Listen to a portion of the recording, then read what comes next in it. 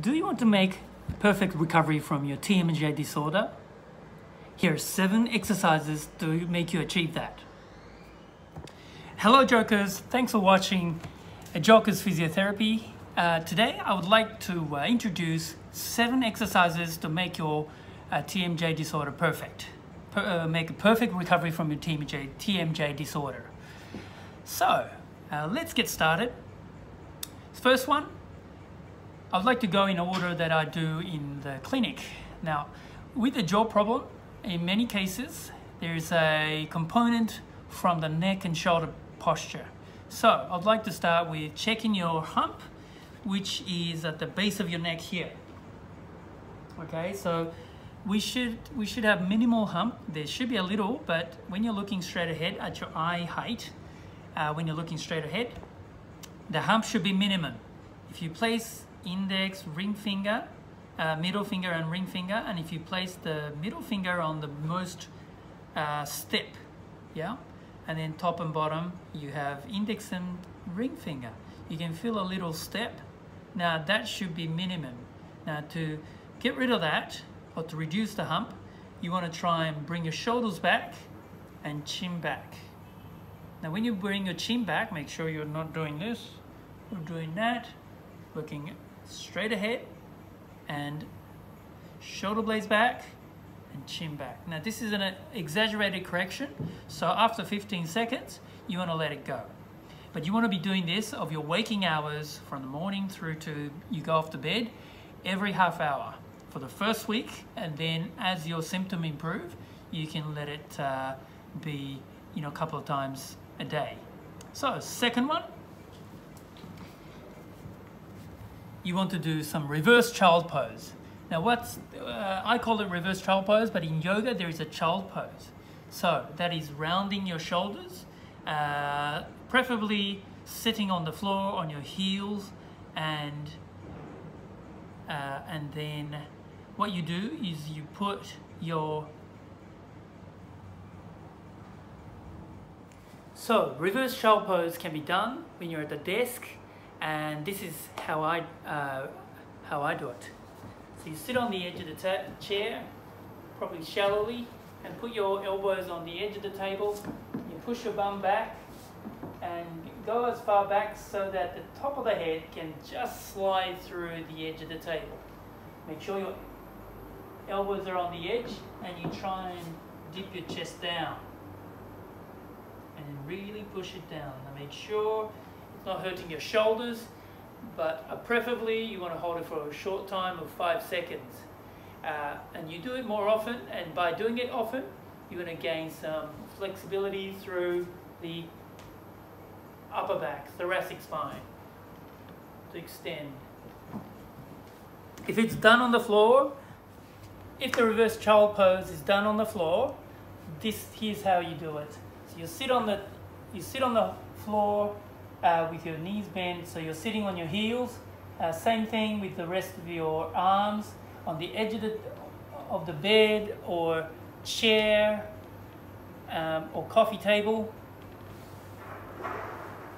Make sure you push your uh, buttocks back so the tip top of the head can just slide on through the edge of the table and then dip.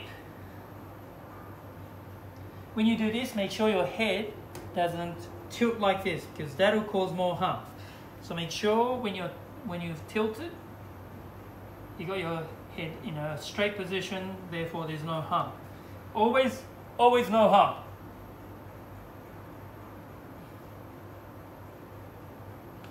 Okay, and the third one is to get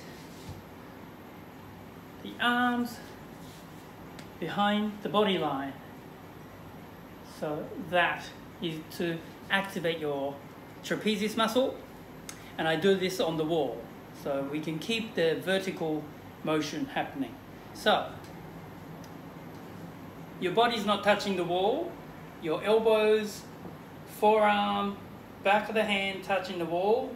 Now once you do this, the head kind of tends to thrust forward, so make sure you pull your head back, but the back of the head uh, buttocks or upper back or anywhere else not touching. The only bits that are touching are the elbow, forearm, back of the hand. From here, you go up, down, two, three, four, five. Who would have thought the arms are this heavy? Six, seven, eight, nine. We go up to 20. Halfway 10, 11, 12. Make sure you're looking straight ahead. 15, 5 to go. 16, oh, it's starting to burn. 17, make sure you keep pushing the elbow, forearm, back of the hand, especially elbows into the wall. I think this is 20. Great. And when you do this, if you push your elbows back, it tends to curve your lower back. So make sure you get your buttock muscles on, tummy muscles on at the same time to keep your back up, lower back straight. So the only bits that are activated are your upper back, especially between your shoulder blades, and that'll make the muscles stronger. So then, oh, then what happens is you got good shoulder blade positions. That'll mean you have a good head position. Now, when you have a good head position, that's when the jaw functions at best. So, that's why the neck, shoulder, the posture is so important for jaw, uh, perfect recovery for your TMJ uh, disorder. Okay, so next I'll continue on. So from here, the, the next uh, four exercises are for your jaw uh, itself. Let's get started. Do you want to make perfect recovery from your TMJ disorder? Here are seven exercises to achieve that. So from here, uh, we borrow some great ideas from the Rocabado's six exercises uh, for the for the TMJ recovery. Our first one is to get your tongue, tip of the tongue on the roof of your mouth, just just behind the front teeth coming down. There's a there are there's a surface called the alveolar ridge where it is quite rough uh, to the touch, as in the tongue touching. And try and practice having the tip of the tongue on the roof of your mouth. Keep the tongue on the roof of your mouth and keep your teeth apart but lips closed, which makes you a nose breather. Have you been breathing through your nose? That's what we want. But if your tongue normally stays down during the day, that means you're breathing through your mouth, most likely. Or if you're sleeping uh, and you wake up with your mouth very dry, most probably you're a snorer uh, or sleep having a sleep apnea and the tongue stays down. We want to train the tongue uh, to stay up. Once you train your tongue to stay up, you do what we call Oxford stretch where you keep the tongue on the roof of your mouth,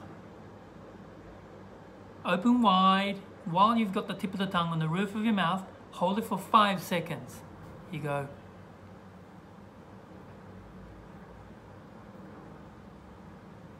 and close, and go again.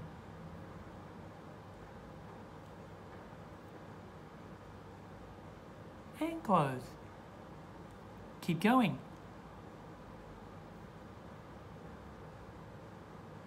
and close. Keep going.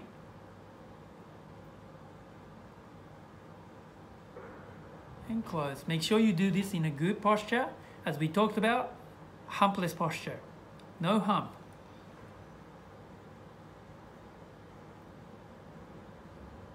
You do this continuous 60 seconds, so you get to do about 10 to 12 repetitions in that one minute. You move on to the third one, where you place your, your thumb on the base bottom of your chin and index and ring uh, middle finger on the front part of the chin on either side and you resist opening. So your mouth is trying to open, thumb's trying to push up and you make them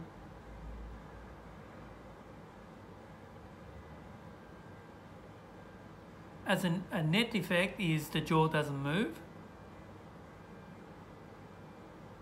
Six seconds. Okay, and this time the fingers resist pushing down. So from an open position, trying to close.